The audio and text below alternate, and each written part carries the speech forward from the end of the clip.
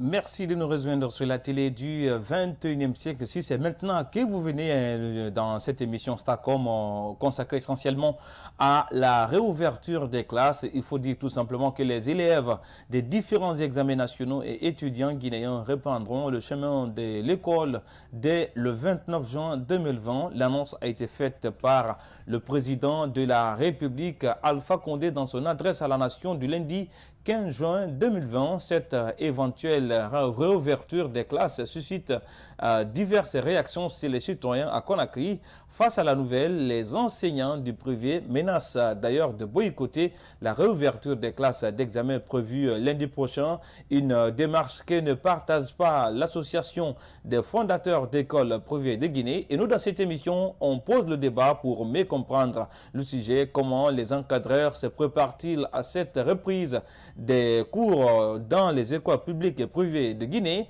que dire des mesures d'accompagnement des ministères et de leurs structures déconcentrées, notamment pour une meilleure rentrée? Toutes ces questions euh, sont posées dans cette émission et nous aurons quelques éléments de réponse avec notre invité qui est déjà au bout de fil, M.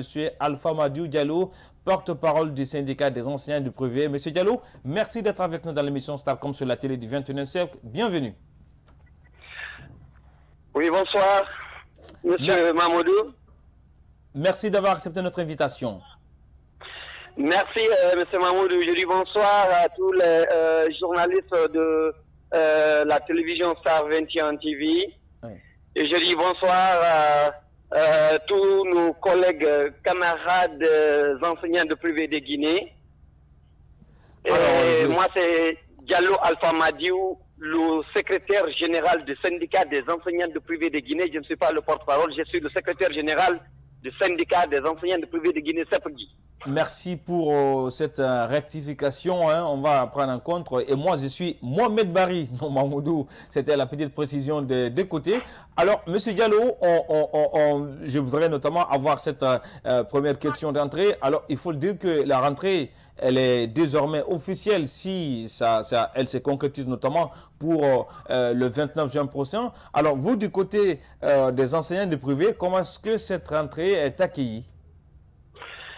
Eh bien, euh, nous, les enseignants du privé de Guinée, nous nous étions retrouvés pour euh, boycotter et empêcher par tous les moyens légaux la reprise des cours le 29 juin 2020.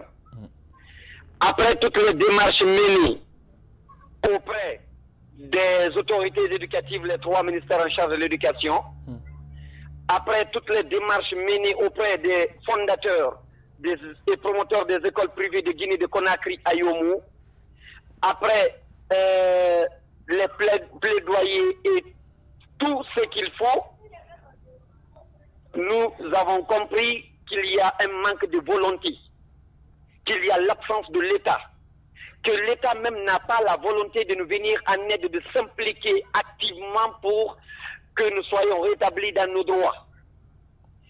Alors, nous nous sommes réunis. Nous avons sensibilisé de plus nos camarades pour que le lundi 29 juin 2020, que cette reprise n'ait pas lieu dans toutes les écoles privées de Guinée, de Conakry à Yomou, du primaire à l'université. À l'heure où je vous parle, nos camarades, euh, le CEPGI de l'AB, syndicat des enseignants du privé, de Guinée, l'antenne régionale de l'AB, est en réunion. Hier, ils étaient avec l'association des fondateurs des écoles privées à l'inspection régionale de l'éducation. C'était la deuxième fois et bien les fondateurs ont d'abord refusé d'ouvrir euh, euh, le dialogue. C'est-à-dire, la première fois, c'est le président qui est venu. La seconde fois, c'est la vice-présidente qui est venue, soit disant qu'ils doivent se retrouver avec tous les autres, et l'inspecteur régional de l'ABI l'inspecteur régional de travail de l'ABIB a bel et bien Monsieur dit Diallo, aura pas. Monsieur Diallo, Nous connaissons euh, désormais vos réclamations, mais euh, tout à l'heure, avant vous, hein, on a reçu euh, dans cette émission les fondateurs d'écoles privées et c'est évident qu'aujourd'hui, le pays traverse une crise et tous les secteurs ont, ont, été notamment victimes notamment de cette crise liée à la Covid-19 et d'ailleurs les écoles privées également. Alors pourquoi vous pouvez exiger le paiement de vos salaires pendant qu'il n'y a pas eu de cours? C'est parce que la loi nous autorise, c'est parce que la loi avait bel et bien euh, autorisé le paiement des arriérés. Si ce qui empêche le travailleur d'aller travailler a un motif justifié, la COVID-19 vraiment est une cause divine. Ce n'est pas un enseignant qui l'a causé. Ce n'est pas le refus catégorique d'un enseignant d'aller dispenser les cours. Donc, c'est des imprévus. Eh bien, les imprévus doivent être payés.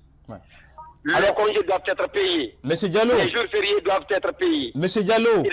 oui, les courtes maladies également. N'oubliez pas également que celui qui parle des enseignants du privé, entre vous, il y a la majorité, ce sont euh, des contractuels ou des prestataires qui viennent donner des cours à travers des heures. Donc, ce qui veut dire que vous êtes payé à la tâche. Comment est-ce que vous pouvez exiger un salaire pendant qu'il n'y a pas eu de cours également?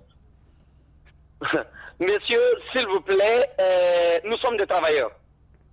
Et nous sommes régis par le Code de travail guinéen. Ce même Code de travail, je vous dis, a bel et bien dit que si le travailleur n'a pas refusé lui-même d'aller dispenser les cours ou d'aller travailler dans n'importe quelle entreprise, il a droit à son salaire. Hmm. Par exemple, les courtes maladies. Par exemple, les jours fériés, les congés, les grèves syndicales ou grèves, grèves politiques qui t'empêchent d'aller travailler. L'entrepreneur doit euh, réellement te payer, monsieur. Si les fondateurs disent que nous, nous n'avons pas enseigné et que nous n'avons pas droit à un salaire, ils ont interprété le code de travail selon leurs intérêts. Mhm. Et bien, ce même code-là, ce, ne sont ni les fondateurs, ni nous les enseignants qui l'avons mis en place. C'est le législateur. Donc, nous, nous voulons le, respect de ce code de travail dans ce pays. Et nous irons jusqu'au bout. Alors, monsieur... nous avons compris, nous avons compris que l'AFEBGI cette association des fondateurs des écoles privées de Guinée, M. Fofana, le président de cette association lui-même, n'a pas la volonté et il est là euh, en train d'encourager les autres de ne pas nous payer. Donc c'est dans ce cadre que nous, nous sommes en train, à l'heure où je vous parle, à Conakry, à l'intérieur du pays, de sensibiliser, même d'impliquer les élèves. Gallo, oui. Que dites-vous hein, de vos détracteurs hein, qui estiment que euh, la majorité ou la plupart des enseignants dans les écoles privées sont des, euh, des gens hein, qui font des, détours entre les écoles parce qu'ils ne sont pas en réalité des employés d'une seule école. Ils viennent donner des cours notamment à une école pendant euh, une heure. Après là-bas, ils vont rejoindre une autre école privée. Est-ce que dans ce cadre-là, c'est facile de parler d'exigence du Code du travail étant donné que vous êtes des prestataires libres? Oui, monsieur. Et je vous donne l'exemple. Si toutefois je vais dans une école, je signe un contrat de, de 32 heures. 32 hmm. heures par mois. Ce sont ces 32 heures-là qui doivent être payées par mois. Et si maintenant il y a eu quelque chose qui m'empêche de dispenser 2 heures ou 4 heures, ou en tout cas ces 32 heures-là, c'est ce que le Code de travail a bel et bien dit que ce n'est pas moi qui ai refusé d'aller enseigner. Donc j'ai droit à mon salaire, malgré que je suis enseignant vacateur. Je vais dans l'entreprise scolaire X, je signe 16 heures. Dans l'autre entreprise, 20 heures. Chacune de ces écoles-là doit me payer si toutefois il y a eu une catastrophe naturelle. Ou je tombe malade, ou à défaut, les congés. Bien avant aujourd'hui, bien avant cette crise, le mois de juin n'était pas payé par la majeure partie de ces fondateurs, je vous dis. Donc, nous avons droit à notre salaire, malgré que nous sommes des enseignants vacateurs. S'ils vous disent que, c'est euh, euh, vraiment, ils, ont raison, et prenez vous-même le code de travail, vous l'interprétez. Vous verrez lequel d'entre nous a raison. Hmm. Et nous, aujourd'hui, je vous dis, nous irons jusqu'au bout. Nous, avons dit à tous nos collègues de ne pas enseigner et d'empêcher les lâches, je m'excuse du terme, ceux qui nous traiteront pour aller euh, dispenser les cours. Nous allons les empêcher, nous allons les boycotter, nous allons boycotter la reprise des cours et si toutefois ça ne marche pas, nous sortirons marcher dans la rue. Alors, euh, en attendant notamment que cette menace se matérialise sur le terrain et également voir votre capacité de mobilisation pour euh, faire respecter notamment ces exigences. Alors, il y a cette question hein, qui, euh, que je voudrais également vous poser. votre revendication tombe au moment où le secteur éducatif à travers son département dispose désormais d'un nouveau ministre, Dr Banobari. Vous, en tant qu'enseignant du privé, comment est-ce que vous, vous, vous apprécier la nomination de M. Barry à la tête du département en centre d'éducation en Guinée Bon, euh, à mon avis, la nomination de Dr Bano Barry est vraiment très avantageuse pour nous. Hmm. Nous avons l'espoir. Nous pensons qu'il pourra faire l'affaire et gérer cette crise. Malgré qu'il est venu à un moment très difficile, même si ce n'est pas immédiatement, mais à la longue, il pourra satisfaire euh, nos revendications. Contrairement à M. Maurice Sangaré qui était là, qui ne nous faisait même pas face, qui ne parle pas avec nous, qui n'avait même pas besoin. Donc, nous avons l'espoir que Dr Banobari pourra faire l'affaire. Alors, Monsieur Alpha Madou Diallo, c'était tout hein, qu'on devrait avoir avec vous en termes de réaction par rapport à votre menace de grève ou de boycott de la rentrée des classes prévues pour le 29 euh, juin prochain à travers le pays, si bel et bien, si bel et bien euh, la rentrée se matérialise. Alors, il ne me reste à vous dire, Monsieur Diallo, merci d'être euh, passé dans l'émission Starcom sur la télé du 21e siècle. Merci, euh, Monsieur Barré. Merci à tous les euh, journalistes de cette radio et nous demandons aux enseignants et enseignantes du privé de Guinée de resserrer les rangs, de continuer à se sacrifier, de ne pas enseigner le 29 juin 2020, à partir de lundi, jusqu'à la satisfaction de nos revendications. Je vous remercie. Merci également. Certainement, c'est dans les tuyaux hein, de la télé Star 21 TV et cette radio hein, qui insiste à travers ces interventions. Je pense que ça tombe dans les bonnes oreilles de la direction pour penser à la nécessité de la mise en place de cette radio Star 21 FM parce que le plus souvent, ça revient dans cette émission en ce qui concerne les intervenants. Alors, on va marquer une courte pause avec vous, euh, chers téléspectateurs, avec un élément de reportage euh, dédié notamment sur cette euh, question de la nomination de Dr Bano à la tête du ministère de l'Enseignement, de l'Éducation nationale et de l'alphabétisation. Et après, nous reviendrons avec vous avec un autre acteur pour parler de cette rentrée des classes prévues pour le 29 juin prochain à travers le pays. On de reportage et on revient juste, juste après ça avec vous, pour, euh, avec un autre intervenant dans cette émission. L'homme qu'il faut à la place qu'il faut, a-t-on coutume de dire. Des encadreurs d'école et spécialistes du système éducatif guinéen apprécient la nomination du docteur Alpha Amadou Banobari comme ministre de l'Éducation nationale et de l'alphabétisation. C'est un ministre qui euh, imprégnait les problèmes du système éducatif à partir du moment où il a été conseiller du chef de l'État dans le domaine de l'éducation. Euh, et, vous savez, ça fait plus de quatre ans, le système éducatif a des problèmes avec euh, les grèves intempestives. Notre nouveau ministre qui est venu euh, était impliqué activement auprès des syndicats pour trouver la solution à ce problème de grève qui euh, provoquait des tumultes. Euh, il connaît le problème du système éducatif au plan infrastructurel parce qu'il a simulé.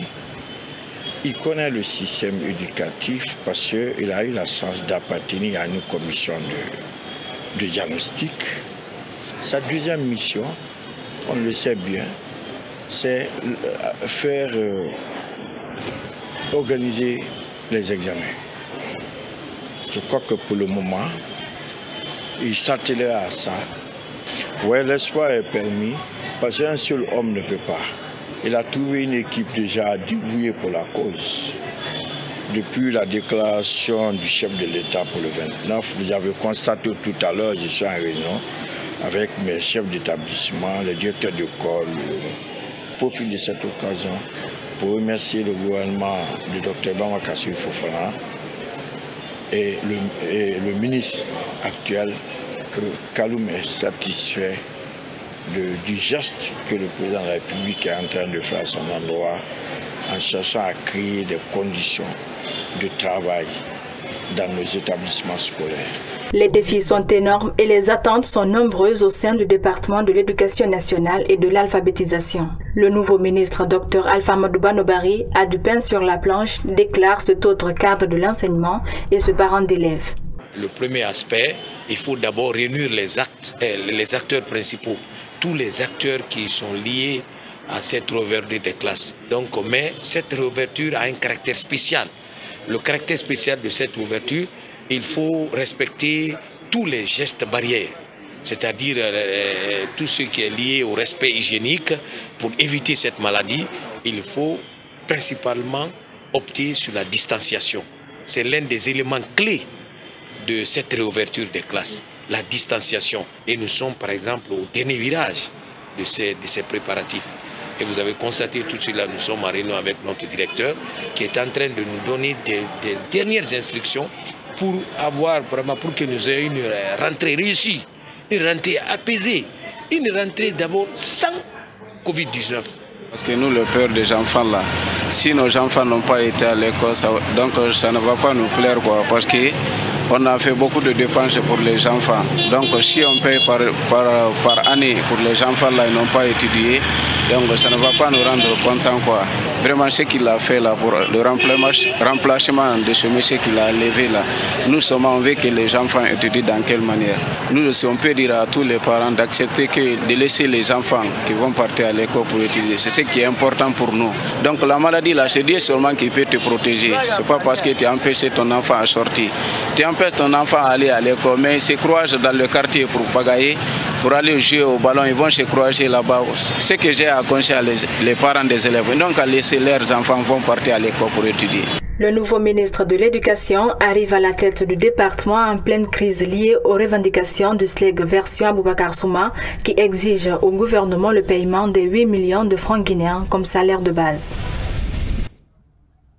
Retour dans cette émission, euh, chers téléspectateurs, vous l'avez suivi avec moi, c'était le reportage consacré essentiellement à la nomination de Dr Bano à la tête du département en, charge de l'éducation nationale et de l'alphabétisation.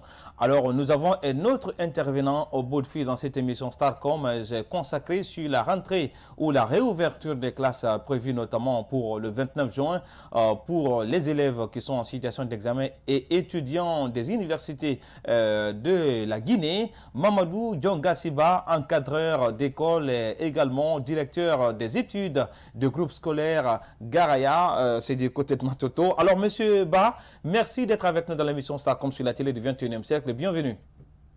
C'est un plaisir, Monsieur Barry. Alors, vous l'avez suivi à, vous l'avez suivi avec nous notamment, cet élément de reportage consacré essentiellement à cette euh, euh, nomination hein, de Dr Alpha Amadou Banobari, euh, nouveau ministre du MENA. Vous, en tant qu'encadreur d'école, quel est votre regard sur cette nomination d'un nouveau ministre à la tête du département en charge de l'éducation nationale et de l'alphabétisation? Bon, je pense qu'avec euh, l'arrivée de euh, M. Amadou Bano à la tête euh, du MENA, c'est une très bonne chose parce que voilà, quand nous nous focalisons sur son background, là-bas, il n'y a pas de débat. C'est quelqu'un quand même qui connaît très bien le système éducatif guinéen. C'est quelqu'un qui a le niveau requis. Je pense que pour le moment, c'est le meilleur ministre que le MENA vient de tenir depuis l'arrivée d'Alpha Condé à la tête de notre pays, euh, Mohamed Bari. Je pense que euh, c'est un très bon choix. Euh, je j'apprécie, c'est quand même, voilà, c'est le meilleur ministre pour moi. Alors, l'autre question, c'est bien évidemment hein, cette actualité hein, qui a fulmine désormais dans le secteur éducatif guinéen. Il faut dire que les cours étaient arrêtés en Guinée suite à l'apparition de la pandémie euh, du coronavirus et cette annonce du chef de l'État dans son adresse à la nation du 15 juin 2020 portant réouverture des salles d'examen à l'intention des élèves en situation euh, d'examen également des étudiants. Alors, comment est-ce que vous, euh, vous avez notamment euh, appris ou accueilli cette euh, annonce portant réouverture des classes en Guinée? Bien, c'était une très belle annonce, Mohamed Barry. Si vous vous rappelez même, voilà, lors de mon intervention sur vos antennes, ça a été ma proposition. si vous vous rappelez très bien, avez donné comme proposition à ce qu'on rouvre, n'est-ce pas, les classes d'examen et puis qu'on puisse ne serait-ce que faire 25 à 30 élèves par salle de classe et puis euh, voilà imposer à ce que les uns et les autres puissent respecter, n'est-ce pas, les, les gestes barrières. Tant mieux, ce que le gouvernement a annoncé, je pense que c'est une très bonne chose parce que tout simplement, on ne pouvait pas s'attendre à une année blanche. désormais, les enfants vont commencer à, voilà, à fréquenter l'école, même si après trois mois de trêve, ça va être très compliqué euh, pour que, n'est-ce pas, les enfants reviennent en forme, y compris les professeurs. Mais ce qui reste clair, il y aura euh, pas mal de difficultés euh, dans toutes les écoles au Medbari. Quand vous prenez d'abord dans les écoles publiques, je sais qu'aujourd'hui, avec la pléthore, les écoles sont obligées de, de fragmenter les classes et multiplier les classes, automatiquement, ils seront obligés de réquisitionner, n'est-ce pas, les professeurs qui évoluaient ou qui, évoluaient dans les, dans les, classes intermédiaires pour les classes d'examen. Est-ce que euh, ils sont formés pour ça? Est-ce que ils sont habitués à ces programmes? Parce que c'est ça aussi, euh, voilà, la politique guinéenne. Beaucoup d'écoles, voilà, ont des professeurs pour la 11e, ont des professeurs pour la 12e, ont des professeurs exclusivement pour la terminale.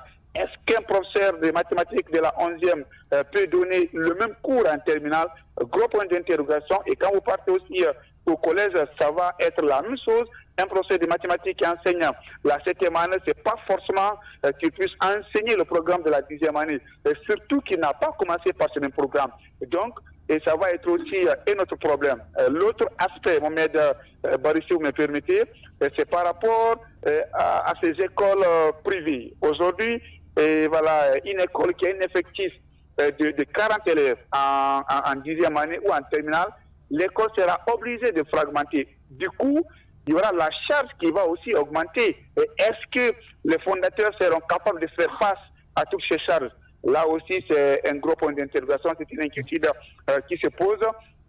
Et l'autre aspect, c'est par rapport au transport. N'oubliez pas, il y a beaucoup d'élèves qui quittent loin euh, pour aller, pour aller à l'école. Est-ce qu'aujourd'hui, euh, voilà, avec, euh, avec euh, voilà, la doublure, n'est-ce pas, de ces, de, ces, prix de transport, est-ce que ça va être facile pour ces, pour, ces, pour ces différents candidats? Et là aussi, c'est un gros problème qui se pose. Mais sinon, de façon globale, je pense que c'est une très bonne chose parce que voilà, il faudrait que les enfants quand même puissent réunir avec les études, surtout que ça fait alors, M. Ba, il faut rappeler également que euh, cette rentrée, notamment, rime avec euh, euh, quelques subers, notamment des grèves, notamment dans le secteur de privé. Il faut rappeler d'ailleurs que les enseignants de privé menacent de boycotter cette rentrée. Et vous, du côté notamment du groupe scolaire Garaya, comment est-ce que vous comptez pallier cette menace des enseignants du privé et par rapport notamment à cette exigence également de réouverture des classes? Bon, euh, je pense que ça va être euh, un peu compliqué parce que euh, certains enseignants vont voilà, suivre le mot d'ordre de cette, de cette grève, mais de l'autre côté, beaucoup aussi ne vont pas le suivre. Vous savez, le problème, déjà, les enseignants sont divisés. Au-delà d'être divisés, cette rentrée aussi va les diviser parce que ce ne sont pas tous les enseignants qui sont concernés, c'est seulement les enseignants qui sont dans les classes d'examen. Est-ce que ces enseignants évoluant exclusivement dans les classes d'examen vont accepter de suivre les autres parce que c'est quand la rentrée concernait tous les enseignants, euh, ça allait être, euh, ça allait impacter négativement, n'est-ce pas, sur la reprise. Mais à la lire choses, avec trois mois de galère, trois mois euh, sans salaire, trois mois sans rien, et ça va être très compliqué pour que les pour que ces enseignants aussi puissent rester à la maison et dire qu'ils vont, qu'ils vont observer ce mot d'ordre. Alors, euh, le lundi, c'est dans quelques jours, euh, qu'est-ce qui va se passer? Pardon. Alors, cette dernière question, il faut rappeler quand même qu'il y a les grands oubliés hein, de cette euh, rentrée, c'est un peu les élèves des classes intermédiaires. Quel sort faut-il les réserver Faut-il les réserver? Pardon. Bon, je pense que leur sort est déjà scellé parce que aujourd'hui, ce qui, ce qui intéresse davantage, ce sont les ce, sont les, ce sont les élèves des classes d'examen. Euh, vous n'êtes pas sans le savoir aujourd'hui, dans pas mal d'écoles, les 50 à 60%, voire 70% des programmes sont épuisés, surtout dans les classes, euh, surtout dans les écoles, dans les écoles privées. Je ne parle pas des, je ne parle pas d'écoles publiques parce que là-bas, il y avait quand même le mot d'ordre des grèves d'Obakar Souma, le général Bisleg, qui était déjà observé.